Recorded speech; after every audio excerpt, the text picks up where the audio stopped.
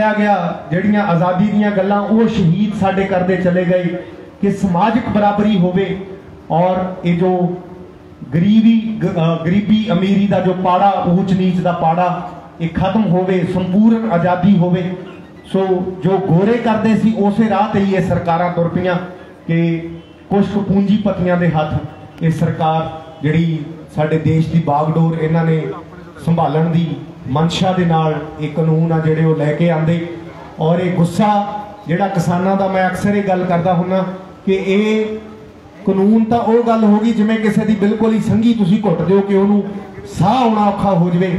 ਸੋ ਫੇਰ ਇਹ ਗੁੱਸਾ ਫੁੱਟਿਆ।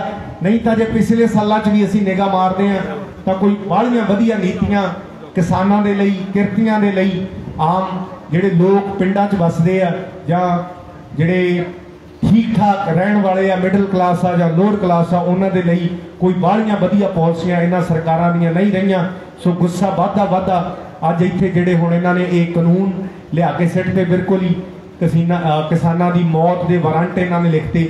ਸੋ ਉਹਦੇ ਚੋਂ ਇਹ ਮੋਰਚਾ ਨਿਕਲਿਆ ਔਰ ਬਹੁਤ ਸਾਰੀਆਂ ਪ੍ਰਾਪਤੀਆਂ ਤੁਹਾਡੀਆਂ ਕਈ ਵਾਰੀ ਦੇਖਣ ਨੂੰ ਇਹ ਲੱਗਦਾ ਕਿ ਹਾਲੇ ਤੱਕ ਕਾਨੂੰਨਾਂ ਦੇ ਬਾਰੇ ਕਿਸਾਨ ਦਾ ਜਾਂ ਸਰਕਾਰ ਦਾ ਜਿਹੜਾ ਸਟੈਂਡ ਹੈ, ਉਹ ਉਵੇਂ ਹੀ ਹੈ। ਇਹਨਾਂ ਦੇ ਕੰਨ ਤੇ ਜੂ ਨਹੀਂ ਸਰਕੀ।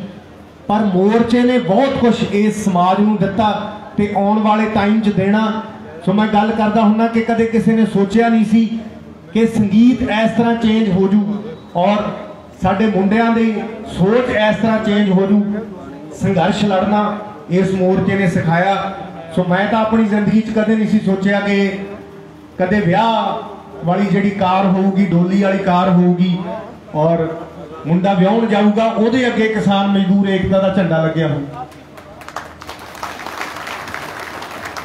ਜਾਂ ਲੋਕ ਆਪਣੇ ਸ਼ਗਨ ਮਨਾਉਣਗੇ, ਕਿਉਂਕਿ ਉਹ ਵੀ ਚਲੋ ਸਾਡਾ ਇੱਕ ਸਮਾਜਿਕ ਰਿਸ਼ਤੇ ਨੇ, ਉਹ ਵੀ ਅਸੀਂ ਪੂਰੇ ਕਰਨੇ ਆ ਨਾਲ ਨਾਲ ਤੇ ਲੋਕ ਵਿਆਹ ਕਰਨਗੇ, ਪਰ ਡੀਜਿਆਂ ਦੇ ਉੱਤੇ ਨੱਚਣਗੇ ਕਿਸਾਨੀ ਵਾਲੇ ਗੀਤਾਂ ਤੇ। ਤੇ ਉਹ ਮੈਸੇਜ ਉਹ ਕੀ ਜਾ ਰਿਹਾ ਕਿ ਅਸੀਂ ਆਪਣੇ ਸ਼ਗਨ ਮਨਾ ਰਹੇ ਹਾਂ, ਪਰ ਸਾਡਾ ਦਰਦ ਕਿਸਾਨਾਂ ਦੇ ਨਾਲ ਜਿਹੜੇ ਦਿੱਲੀ ਬੈਠੇ। ਸੋ ਉਹ ਦਰਦ ਹਰੇਕ ਦੇ ਸੀਨੇ 'ਚ ਔਰ ਸੰਗੀਤ ਗੱਡੀਆਂ ਦੇ ਵਿੱਚ ਕਿਸਾਨਾਂ ਦਾ ਵੱਜ ਰਿਹਾ, ਇਹ ਸੰਗੀਤ ਐਡੀ ਛੇਤੀ ਚੇਂਜ ਨਹੀਂ ਹੁੰਦਾ ਹੁੰਦਾ ਜਿਹੜੇ ਗੋਲੀਆਂ ਬੰਦੂਕਾਂ ਦੇ ਬੰਦੂਕਾਂ ਦੀਆਂ ਗੱਲਾਂ ਕਰਨ ਵਾਲੇ ਸਾਡੇ ਮੁੰਡੇ ਔਰ ਗਾਣਿਆਂ ਦੇ ਵਿੱਚ 90% ਗੱਲਾਂ ਉਹ ਹੋਣੀਆਂ, ਸੋ ਉਹਨਾਂ ਗੱਡੀਆਂ ਦੇ ਵਿੱਚ ਗੀਤ ਕਿਸਾਨਾਂ ਦਾ ਵੱਜੇ, ਕਿਸਾਨੀ ਸੰਘਰਸ਼ ਦੇ ਗਾਣੇ ਚੱਲਣ ਇਹ ਲੋਕ ਲਹਿਰ ਇਹਨੂੰ ਕਵਾਂਗੇ ਆਪਾਂ। ਲੋਕਾਂ ਦੇ ਮਨ ਜਿਹਨੇ ਚੇਂਜ ਕਰਤੇ ਔਰ ਸਾਡੇ ਮੁੰਡੇ ਬੈਨਰ ਫੜ ਕੇ, ਤਖਤੀਆਂ ਫੜ ਕੇ, ਜਿਹੜੇ ਸ਼ਹਿਰਾਂ ਦੇ ਵਿੱਚ ਖੜੇ ਆ, ਚੌਂਕਾਂ ਦੇ ਉੱਤੇ ਕਿਸਾਨਾਂ ਦੀ ਸਪੋਰਟ ਕਰੋ। ਨੋ ਫਾਰਮਰ ਨੋ ਫੂਡ ਔਰ ਜੇ ਤੁਸੀਂ ਕਿਸਾਨਾਂ ਦੇ ਹੱਕ ਚੋਂ ਤਾਂ ਹਾਰਨ ਵਜਾਓ, ਸੋ ਉਹ ਕੋਈ ਤਨਖਾਹ ਲੈ ਕੇ ਨਹੀਂ ਖੜੇ। ਸੋ ਉਹਨਾਂ ਦੇ ਦਿਮਾਗ ਚੇਂਜ ਹੋਏ ਆ। ਉਹਨਾਂ ਨੂੰ ਪਤਾ ਸਾਡੇ ਬਾਪੂ ਸਰਹੱਦਾਂ ਤੇ ਐਦਾਂ ਬੈਠੇ ਆ। ਔਰ ਸਾਡੀਆਂ ਮਾਵਾਂ ਬੈਠੀਆਂ ਟਰਾਲੀਆਂ ਦੇ ਵਿੱਚ ਔਰ ਸਾਡੇ ਨੌਜਵਾਨ ਇੱਥੇ ਵੱਡੀ ਗਿਣਤੀ ਦੇ ਵਿੱਚ ਪਹੁੰਚਦੇ ਆ। ਸੋ ਇਹ ਨੌਜਵਾਨੀ ਦੀ ਸੋਚ ਨੂੰ ਬਦਲਣਾ, ਇਹਨੂੰ ਸਹੀ ਨੀਹ ਤੇ ਤੋਰਨਾ, ਇਹ ਕੋਈ ਛੋਟੀਆਂ ਗੱਲਾਂ ਨਹੀਂ, ਇਹ ਇਸ ਮੋਰਚੇ ਦੀਆਂ ਪ੍ਰਾਪਤੀਆਂ ਨੇ। ਔਰ ਆਉਣ ਵਾਲੇ ਟਾਈਮ 'ਚ ਹੋਰ ਬਹੁਤ ਕੁਝ ਇੱਥੋਂ ਨਿਕਲਣਾ। ਕਿਉਂਕਿ ਜਦੋਂ ਜਾਗਰੂਕਤਾ ਪੈਦਾ ਹੋ ਜਾਂਦੀ ਆ ਔਰ ਇਹ ਲੋਕ ਲਹਿਰਾਂ ਨੇ ਕਈ ਵਾਰੀ ਮੀਡੀਆ ਵਾਲੇ ਗੱਲ ਕਰਨ ਲੱਗ ਜਾਂਦੇ ਆ ਕਿ ਜੀ ਤੁਹਾਨੂੰ ਕੀ ਲੱਗਦਾ? ਹੁਣ ਮੋਰਚੇ 'ਚ ਇਕੱਠ ਪਹਿਲਾਂ ਨਾਲੋਂ ਘੱਟ ਲੱਗਦਾ ਤੇ ਤੁਸੀਂ ਕੀ ਸੋਚਦੇ ਹੋ? ਸੋ ਮੈਂ ਹਮੇਸ਼ਾ ਇੱਕੋ ਹੀ ਗੱਲ ਕਹਿਣਾ ਹੁੰਦਾ ਕਿ ਇਹ ਭੁਲੇਖੇ ਕਿਸੇ ਬੰਦੇ ਨੂੰ ਨਹੀਂ ਪਾਲਣੇ ਚਾਹੀਦੇ, ਨਾ ਸਰਕਾਰਾਂ ਨੂੰ ਪਾਲਣੇ ਚਾਹੀਦੇ ਆ ਕਿ ਧਰਨਾ ਆਹੀ ਆ ਜਿਹੜਾ ਬਾਰਡਰਾਂ ਤੇ ਬੈਠਾ। ਧਰਨਾ ਤਾਂ ਘਰ ਘਰ 'ਚ ਆ। ਕਿਉਂਕਿ ਜੇ ਚੁੱਲ੍ਹੇ ਦੇ ਉੱਤੇ ਧਰਨੇ ਦੀ ਗੱਲ ਹੋ ਰਹੀ ਆ, ਜੇ ਗੱਡੀਆਂ 'ਚ ਸੰਗੀਤ ਕਿਸਾਨੀ ਦਾ ਚੱਲਦਾ ਔਰ ਬੰਦੇ ਚਾਹੇ ਇੰਡੀਆ 'ਚ ਬੈਠੇ ਆ ਜਾਂ ਬਾਹਰ ਵੀ ਬੈਠੇ ਆ ਤੁਹਾਡੇ ਧੀਆਂ ਪੁੱਤ, ਜੇ ਉਹਨਾਂ ਦੇ ਕੰਨ ਹਮੇਸ਼ਾ ਧਰਨੇ ਦੇ ਆਲਾ, ਤਾਂ ਮੇਰੇ ਹਿਸਾਬ ਨਾਲ ਉਹ ਧਰਨੇ 'ਚ ਸ਼ਾਮਲ ਹੀ। ਔਰ ਇੱਥੋਂ ਜਿੱਦਣ ਵੀ ਕੋਈ ਪ੍ਰੋਗਰਾਮ ਚੱਲਿਆ ਗਿਆ, ਜਿੱਦਣ ਕੋਈ ਹਾਕ ਪੈ ਗਈ, ਪਤਾ ਨਹੀਂ ਕਿੰਨੇ ਲੱਖਾਂ ਕਰੋੜਾਂ ਲੋਕ ਪਹਿਲਾਂ ਨਾਲੋਂ ਵੀ ਵੱਡੀ ਗਿਣਤੀ 'ਚ ਇੱਥੇ ਆ ਜਾਣਗੇ, ਕਿਉਂਕਿ ਉਹਨਾਂ ਦੀ ਸੋਚ ਹਮੇਸ਼ਾ ਧਰਨੇ ਦੇ ਨਾਲ ਜੁੜੀ ਹੋਈ ਆ। ਸੋ ਇਹ ਕਦੇ ਕਿਸੇ ਨੂੰ ਭੁਲੇਖਾ ਨਹੀਂ ਪਾਲਣਾ ਚਾਹੀਦਾ ਕਿ ਜੇ ਇੱਥੇ ਥੋੜਾ ਜਿਹਾ ਇਕੱਠ ਚਾਹੇ ਘਟਿਆ ਜਾਂ ਕਿ ਲੋਕ ਘੱਟ ਦਿਖ ਰਿਹਾ ਤਾਂ ਪਤਾ ਨਹੀਂ ਸ਼ਾਇਦ ਮੋਰਚੇ ਦਾ ਰੰਗ ਉਹਦੇ ਨਾਲ ਫਿੱਕਾ ਪੈ ਗਿਆ। ਰੰਗ ਰੁੰਗ ਕਦੇ ਫਿੱਕਾ ਨਹੀਂ ਪੈਣਾ। ਜੇ ਇੰਨੀ ਕੰਮ ਵਾਲੀ ਰੁੱਤ ਦੇ ਵਿੱਚ, ਕਿਉਂਕਿ ਕਿਸਾਨ ਇੰਨਾ ਦਿਨਾਂ ਤੋਂ ਵੱਧ ਬਿਜ਼ੀ ਕਦੇ ਨਹੀਂ ਹੁੰਦਾ, ਮਜ਼ਦੂਰ ਕਦੇ ਬਿਜ਼ੀ ਨਹੀਂ ਹੁੰਦੇ। ਉਨ- ਉਹਦੇ ਬਾਵਜੂਦ ਇੰਨਾ ਇਕੱਠ ਇਹਨਾਂ ਮੋਰਚਿਆਂ ਦੇ ਉੱਤੇ ਹੈ ਕਿ ਜਦੋਂ ਇਹ ਸਾਡਾ ਕੰਮ ਮੁੱਕ ਗਿਆ, ਉਦੋਂ ਬਾਅਦ ਚ ਇਕੱਠ ਦਿਨੋਂ ਦਿਨ ਵਧਣਾ ਹੀ ਆ ਔਰ ਅੱਜ ਕੱਲ ਇਹਨਾਂ ਨੇ ਕਰੋਨਾ ਦਾ ਵੀ, ਜਿਵੇਂ ਪਹਿਲਾਂ ਵੀ ਗੱਲ ਹੋ ਹੋ ਕੇ ਹਟੀ ਆ, ਸੋ ਮੈਂ ਕਹਿਣਾ ਉਹਨਾਂ ਨੇ ਸਰਕਾਰ ਦਾ ਸਿਖਾਇਆ ਹੋਇਆ ਕਰੋਨਾ, ਸੋ ਦੁਬਾਰਾ ਫੇਰ, ਕਿਉਂਕਿ ਇਹਨਾਂ ਦੀ ਗੱਲ ਬਹੁਤ ਸੁਣਦਾ ਉਹ, ਤੇ ਜਿੱਥੇ ਜਿੱਥੇ ਇਹਨਾਂ ਨੂੰ ਲੋੜ ਆ, ਉੱਥੇ ਹੀ ਜਾਂਦਾ ਜਿੱਥੇ ਨਹੀਂ ਲੋੜ, ਜਿੱਥੇ ਰੈਲੀਆਂ ਕਰਨੀਆਂ ਵੱਡੀਆਂ ਵੱਡੀਆਂ ਜਿਨ੍ਹਾਂ ਸਟੇਟਾਂ ਦੇ ਵਿੱਚ ਇਲੈਕਸ਼ਨਾਂ ਨੇ, ਉੱਥੇ ਕੋਈ ਕਰੋਨਾ ਨਹੀਂ ਪਹੁੰਚਦਾ ਔਰ ਕਰੋਨਾ ਸਕੂਲਾਂ 'ਚ ਚਲਿਆ ਜਾਂਦਾ, ਠੇਕਿਆਂ ਤੇ ਕਰੋਨਾ ਡਰਦਾ, ਹਨਾ ਪਤਾ ਨਹੀਂ ਵੈਸ਼ਨੂੰ ਆ ਉਹ। ਸੋ ਉੱਥੇ ਨਹੀਂ ਪਹੁੰਚਦਾ, ਹੈ। ਸੋ ਜਿੱਥੇ ਇਹਨਾਂ ਨੂੰ ਲੋੜ ਆ, ਔਰ ਲੋਕ ਸਾਡੇ ਜਿਹੜੇ ਵਿਚਾਰੇ, ਜਿੰਨੀ ਤੁਸੀਂ ਰਿਸਰਚ ਕਰਕੇ ਦੇਖਿਓ, ਜਿਹੜੇ ਹਸਪਤਾਲਾਂ ਦੇ ਵਿੱਚ ਜਾ ਰਹੇ ਆ, ਉੱਥੇ ਮੌਤਾਂ ਹੋ ਰਹੀਆਂ। ਜਿਹੜੇ ਬੰਦੇ ਘਰਾਂ ਦੇ ਵਿੱਚ ਆਪਣਾ ਇਲਾਜ ਕਰ ਰਹੇ ਆ, ਘਰਾਂ ਦੇ ਵਿੱਚੋਂ ਇੰਨੀਆਂ ਲਾਸ਼ਾਂ ਨਹੀਂ ਉੱਠ ਰਹੀਆਂ। ਸੋ ਇਹਦਾ ਮਤਲਬ ਕੀ ਆ? ਕਿ ਤੁਸੀਂ ਸਹੀ ਤਰੀਕੇ ਨਾਲ ਲੋਕਾਂ ਨੂੰ ਸਾਂਭ ਨਹੀਂ ਪਾ ਰਹੇ, ਤੁਹਾਡੇ ਕੋਲੇ ਆਕਸੀਜਨ ਨਹੀਂ ਹੈ ਹਊਆ ਬਣਾਤਾ ਹਰੇਕ ਚੀਜ਼ ਨੂੰ, ਲੋਕਾਂ ਨੂੰ ਕੁੱਟ ਕੇ, ਡਰਾ ਕੇ, ਘਰਾਂ ਦੇ ਵਿੱਚ ਬੰਦ ਕਰਨਾ।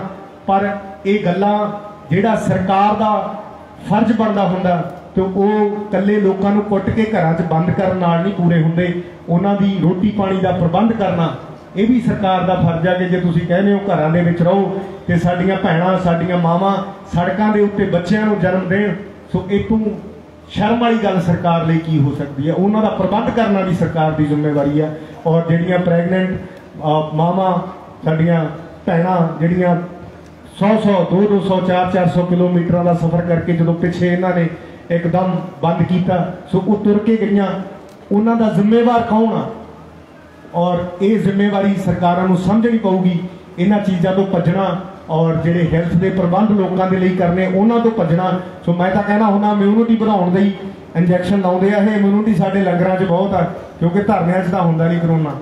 ਮੈਂ ਕਿਹਾ ਇੱਥੇ ਹੀ ਭੇਜ ਦਿਆ ਕਰੋ, ਸਵੇਰੇ ਸ਼ਾਮ ਲੰਗਰ ਧਰਨਿਆਂ 'ਚੋਂ ਛੱਡ ਜਾਣ, ਆਪੇ ਕਰੋਨਾ ਕਰੋਨਾ ਦੂਰ ਹੋ ਜੀ। ਸੋ ਮਹਾਰਾਜ ਤੁਹਾਨੂੰ ਚੜ੍ਹਦੀਆਂ ਕਲਾ 'ਚ ਰੱਖੇ, ਸਾਡੇ ਦਿਲ ਹਮੇਸ਼ਾ ਧਰਨੇ ਦੇ ਨਾਲ ਜੁੜੇ ਹੋਏ ਆ ਔਰ ਹਮੇਸ਼ਾ ਸੁੱਤ ਤੁਹਾਡੇ 'ਚ ਰਹਿੰਦੀ ਹੈ ਜਿਵੇਂ ਮੈਂ ਪਹਿਲਾਂ ਗਾਣੇ 'ਚ ਗੱਲ ਕੀਤੀ ਹੈ ਕਿ ਧਰਨੇ ਦੇ ਵਿੱਚ ਬੈਠੇ ਸਾਰੇ ਸਨ। ਮੈਨੂੰ ਮੇਰੇ ਘਰ ਦੇ ਲੱਗਦੇ, ਇਕੱਲੀ ਮੇਰੀ ਗੱਲ ਨਹੀਂ। ਜਿਹੜੇ ਵੀ ਬੰਦੇ ਇੱਥੇ ਨਹੀਂ ਵੀ ਪਹੁੰਚ ਸਕਦੇ, ਉਹਨਾਂ ਦੀਆਂ ਭਾਵਨਾਵਾਂ ਉਹ ਦਿਲ ਤੋਂ ਤੁਹਾਡੇ ਨਾਲ ਨੇ। ਸੋ ਕੁਝ ਲਾਈਨਾਂ ਮੈਂ ਹੋਰ ਕਹੂੰਗਾ, ਕਿਉਂਕਿ ਤੁਸੀਂ ਬੜੀ ਦ੍ਰਿੜਤਾ ਦੇ ਨਾਲ ਔਰ ਇੱਕ ਸੱਚਾਈ ਦੀ ਲੜਾਈ ਲੜ ਰਹੇ ਹੋ। ਔਰ ਇਨੋਸੈਂਟ ਲੋਕ ਹੋ, ਪਿੰਡਾਂ ਚੋਂ ਉੱਠੇ ਹੋਏ, ਤੁਸੀਂ ਭੋਲੇ ਭਾਲੇ ਲੋਕ ਹੋ ਔਰ ਭੋਲੇ ਭਾਲੇ ਲੋਕਾਂ ਦਾ ਇਕੱਠ ਕਦੇ ਨਹੀਂ ਹਾਰਦਾ ਹੁੰਦਾ। ਔਰ ਕਿਉਂਕਿ ਪਰਮਾਤਮਾ ਜਿਨ੍ਹਾਂ ਦੇ ਵਿੱਚ ਵਾਸ ਕਰਦਾ, ਇੱਥੇ ਪੋਜ਼ਿਟਿਵਿਟੀ ਬਹੁਤ ਆ। ਮੈਂ ਆਪਣੀ ਗੱਲ ਕਰਾਂ ਜਾਂ ਮੈਂ ਹੋਰ ਵੀ ਬੜੇ ਬੰਦਿਆਂ ਨਾਲ ਇਹ ਗੱਲ ਕਰਦਾ ਕਿ ਜਦੋਂ ਗੱਡੀ ਧਰਨੇ 'ਚ ਸ਼ਾਮਲ ਹੁੰਦੀ ਆ, ਤਾਂ ਇੱਕ ਅਜੀਬ ਜਿਹਾ ਸਕੂਨ ਤੁਹਾਨੂੰ ਮਿਲਦਾ। ਕਿਉਂਕਿ ਇੱਥੇ ਪਰਮਾਤਮਾ ਵਾਸ ਕਰਦਾ। ਮੈਂ ਕਿਹਾ, ਜਿੰਨੇ ਲਾ ਦਿਓ। ਗਾਣੇ ਤਲੇ ਸਾਹਿਬ ਤੋਂ ਮੈਂ ਤੁਹਾਡੇ ਵਾਲਾ ਗਾਣਾ ਬੜਾ ਵਧੀਆ ਲੱਗਿਆ ਮੈਨੂੰ। ਉਹ ਲੈ ਕੇ ਦਿਓ, ਮੈਂ ਗਾਇਆ ਕਰਨਾ ਹਾਂਜੀ ਹਾਂਜੀ। ਲਾਉਣੇ ਲਾਉਣੇ ਸੋ ਇੰਨਾ ਸਕੂਨ ਆ ਇਸ ਧਰਨੇ 'ਚ ਜਿਵੇਂ ਤੁਸੀਂ ਮੰਦਿਰ 'ਚ ਜਾਂਦੇ ਹੋ ਮਸਜਿਦ 'ਚ ਜਾਂਦੇ ਹੋ ਗੁਰਦੁਆਰੇ ਜਾਂਦੇ ਹੋ ਮੈਂ ਦਿਲੋਂ ਮਹਿਸੂਸ ਕਰਦਾ ਉਹੇ ਜੀਆਂ ਤੁਹਾਨੂੰ ਤੁਹਾਡੇ ਦਿਲੋਂ ਤੁਹਾਨੂੰ ਇਹੋ ਜੀਆਂ ਇੱਥੋਂ ਅਹ, ਜੋ ਭਾਵਨਾਵਾਂ ਨੇ ਉਹੇ ਜੀਆਂ ਤੁਹਾਨੂੰ ਮਿਲਦੀਆਂ ਕਿ ਤੁਸੀਂ ਬਹੁਤ ਚੰਗੇ ਥਾਂ ਤੇ ਆਏ ਕਿਉਂਕਿ ਗਾਉਣ ਵਾਲੇ ਲੱਭਣੇ ਬਹੁਤ ਔਖੇ ਆ ਸਾਡੇ ਵਾਲੇ ਪੈਸੇ ਬਹੁਤ ਮੰਗਦੇ ਆ। ਇੱਥੇ ਆਉਂਦੇ ਆ ਨਾ ਆਪਣੇ ਆਪ। ਕੌਣ ਖਿੱਚ ਕੇ ਲਿਆਉਂਦਾ? ਇਹ ਧਰਨੇ ਦਾ ਜਿਹੜਾ ਸਕੂਨ ਮਿਲਦਾ ਇੱਥੇ ਆ ਕੇ, ਕਿਉਂਕਿ ਦਿਲ ਨੂੰ ਇੱਕ ਤਸੱਲੀ ਹੁੰਦੀ ਆ ਕਿ ਤੁਸੀਂ ਚੰਗੀ ਜਗ੍ਹਾ ਤੇ ਜਾ ਕੇ ਆਏ ਹੋ।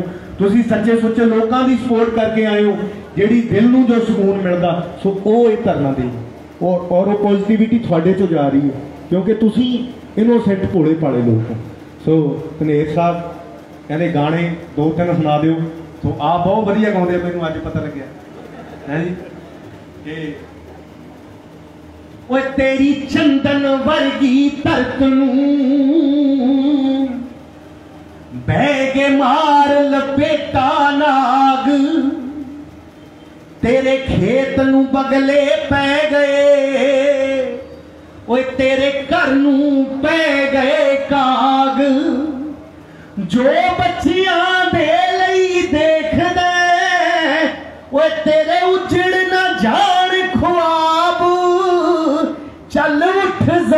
ਖੁਆਬ ਚੱਲ ਉੱਠ ਜ਼ਮੀਰਾਂ ਵਾਲਿਆ ਚੱਲ ਉੱਠ ਜ਼ਮੀਰਾਂ ਵਾਲਿਆ ਬਣ ਬਾਜਾਂ ਵਾਲੇ ਦਾ ਬਾਜ ਬਣ ਬਾਜਾਂ ਵਾਲੇ ਦਾ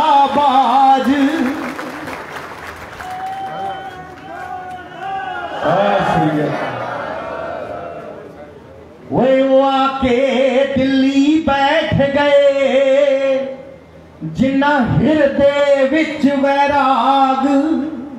ਕਿਉਂਕਿ ਜਿਨ੍ਹਾਂ ਨੂੰ ਪਿਆਰ ਆ ਆਪਣੀ ਮਾਂ ਨਾਲ। ਅਸੀਂ ਮਾਂ ਕਹਿੰਦੇ ਆ ਧਰਤੀ ਨੂੰ। ਹਾਂਜੀ ਔਰ ਪਹਿਲਾਂ ਪਹਿਲਾਂ ਹੁਣ ਤਾਂ ਚਲੋ, ਦਿਮਾਗ ਥੋੜੇ ਚੇਂਜ ਹੋ ਗਏ, ਹਰੇਕ ਬੰਦਾ ਕਮਰਸ਼ੀਅਲ ਹੋ ਗਿਆ। ਸੋ ਪਹਿਲਾਂ ਪਹਿਲਾਂ ਕਿਹਾ ਜਾਂਦਾ ਸੀ ਕਿ ਇਹ ਜਿਹਾ ਆਪਣਾ ਖੇਤ ਵੇਚਤਾ, ਜ਼ਮੀਨ ਵੇਚਤੀ, ਉਹ ਜੀ ਮਾਂ ਵੇਚਤੀ। ਇਹ ਗੱਲਾਂ ਸਾਡੇ 'ਚ ਰਹੀਆਂ, ਸਾਡੇ ਵੱਡੇ ਵਡੇਰਿਆਂ 'ਚ। ਪਰ ਸਮੇਂ ਦੇ ਨਾਲ ਬਹੁਤ ਕੁਝ ਬਦਲ ਗਿਆ ਔਰ ਹਲੇ ਵੀ ਕਈ ਘਰਾਂ 'ਚ ਬੈਠੇ ਹੀ ਸਲਾਹਾਂ ਕਰੀ ਜਾਂਦੇ ਆ, ਹੈ? ਵੀ ਜਾਵਾਂਗੇ ਜਾਂ ਜਾਈਏ ਜਾਂ ਕਦੋਂ ਜਾਈਏ, ਇਹ ਉਹਨਾਂ ਲਈ। ਕਿ ਆ ਕੇ ਦਿੱਲੀ ਬੈਠ ਗਏ ਜਿਨ੍ਹਾਂ ਹਿਰਦੇ ਵਿੱਚ ਵੈਰਾਗ, ਉਹ ਕਦੇ ਰਾਮਿਆ ਯੋਧੇ ਜੰਗ ਚੋਂ ਨਹੀਂ ਤੱਕਦੇ ਹਾਨੀਆਂ ਲਾਭ। ਲਾ ਦੇ ਜੈਨਪੁਰ ਵਾਲਿਆ ਪੱਗ ਤੋਂ, ਜੋ ਲੱਗੇ ਨਸ਼ੇ ਦੇ ਦਾਗ। ਓਏ ਅਸੀਂ ਉਸ ਦਿਨ ਲੋੜੀ ਪਾਲਣੀ ਤੇ ਸਾਡਾ ਉਦੋਂ ਹੀ ਬਣੂ ਚਿਰਾਗ। ਓਏ ਸਾਡੀ ਉਦੋਂ ਦੀਵਾਲੀ ਹੋਊਗੀ ਜਿੱਤੇ ਜਿੱਤ ਕੇ ਮੁੜੂ ਪੰਜਾਬ।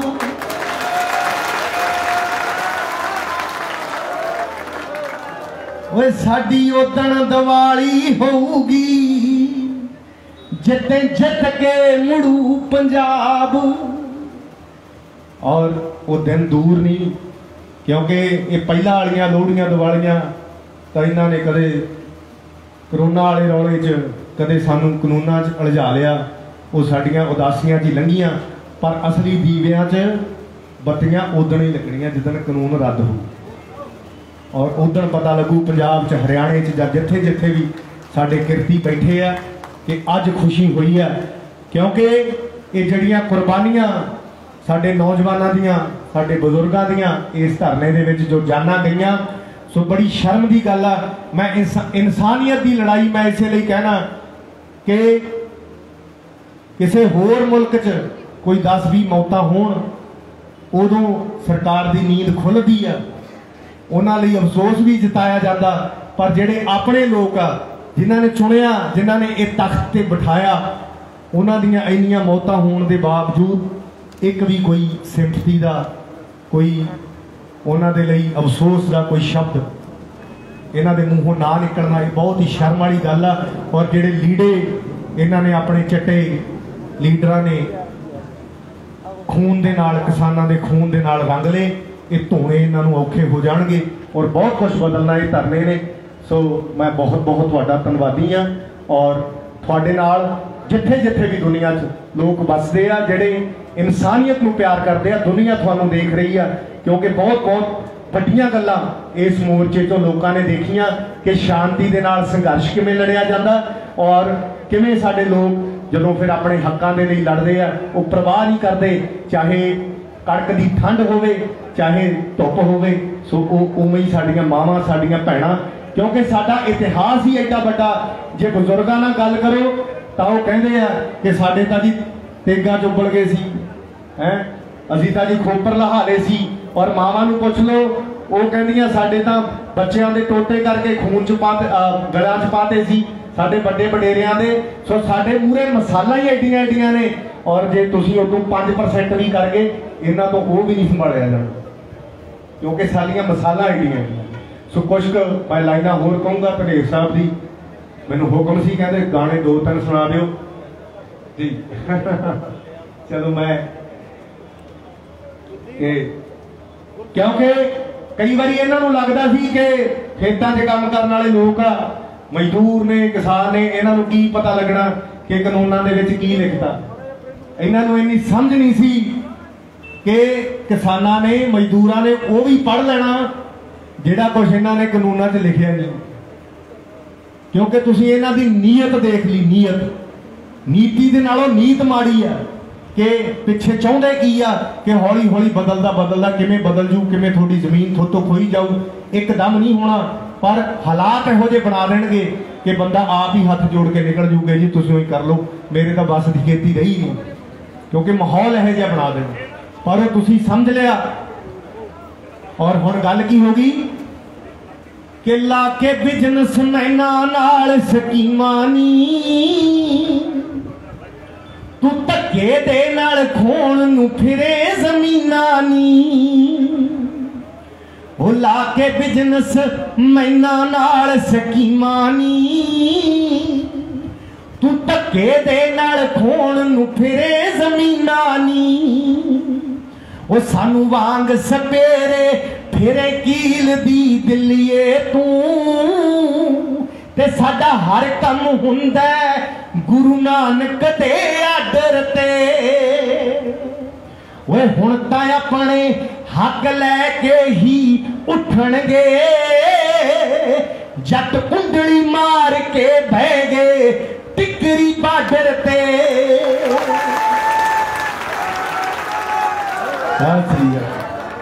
ਓਏ, ਹੁਣ ਤਾਂ ਆਪਣੇ ਹੱਕ ਲੈ ਕੇ ਹੀ ਉੱਠਣਗੇ।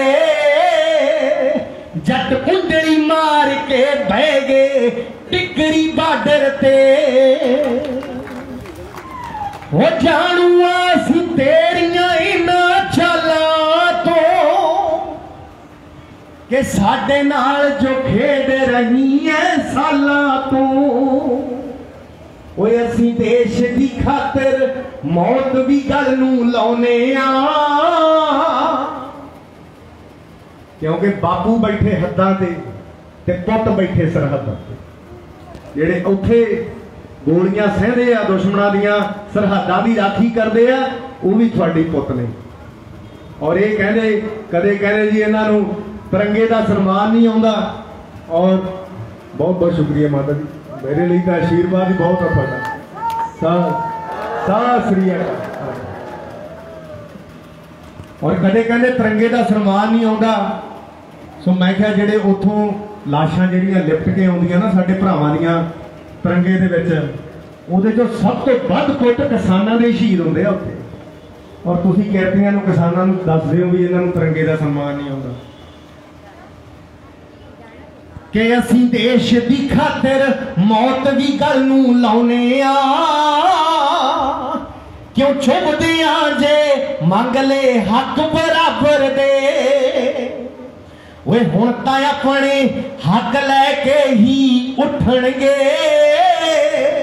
ਜੱਟ ਕੁੰਡਲੀ ਮਾਰ ਕੇ ਬਹਿ ਗਏ ਟਿਕਰੀ ਬਾਰਡਰ ਤੇ। ਉਹ ਜੱਟ ਕੁੰਡਲੀ ਮਾਰ ਕੇ ਬਹਿ ਗਏ। ਕੁੰਡਲੀ ਬਾਰਡਰ ਤੇ ਭਈਆ ਖੇੜਾ ਮਾ ਜੈਨਪੁਰੀ ਸਰਕਾਰਾਂ ਨੂੰ ਓਏ ਹਲਕੇ ਵਿੱਚ ਕਿਤੇ ਲੈ ਲਿਓ ਨਾ ਸਰਦਾਰਾਂ ਨੂੰ ਹੋ ਆਖੇ ਰਾਮਾ ਜੈਨਪੁਰੀ ਸਰਕਾਰਾਂ ਨੂੰ ਹਲਕੇ ਵਿੱਚ ਕਿਤੇ ਲੈ ਲਿਓ ਨਾ ਸਰਦਾਰਾਂ ਨੂੰ ਬਈ ਸਿੰਘ ਜੱਥੇ ਜਾਂਦੇ, ਫਤਿਹ ਕਰਾ ਕੇ ਮੁੜਦੇ ਨੇ। ਕਿਤੇ ਗੌਰ ਕਰ ਲਿਓ, ਬੰਦਾ ਸਿੰਘ ਬਹਾਦਰ ਤੇ। ਓਏ, ਹੁਣ ਤਾਂ ਆਪਣੇ ਹੱਕ ਲੈ ਕੇ ਹੀ ਉੱਠਣਗੇ। ਜੱਟ ਕੁੰਡਲੀ ਮਾਰ ਕੇ ਬਹਿ ਗਏ ਟਿਕਰੀ ਬਾਰਡਰ ਤੇ। ਉਹ ਜੱਟ ਕੁੰਡਲੀ ਮਾਰ ਕੇ ਬਹਿ ਗਏ ਟਿਕਰੀ ਤੇ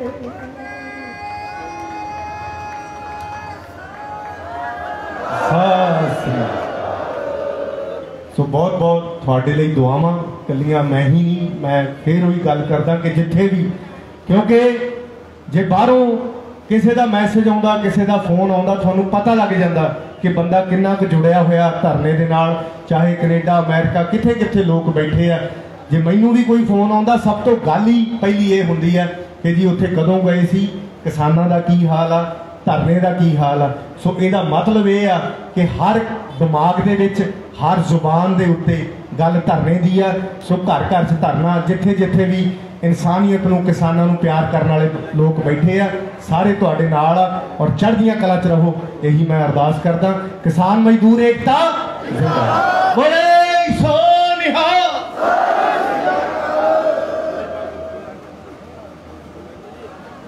ਸੋ ਬਹੁਤ ਬਹੁਤ ਧੰਨਵਾਦ ਦਰਵਿੰਦਰ ਗਰੇਵਾਲ ਜੀ ਦਾ ਜਿਨ੍ਹਾਂ ਨੇ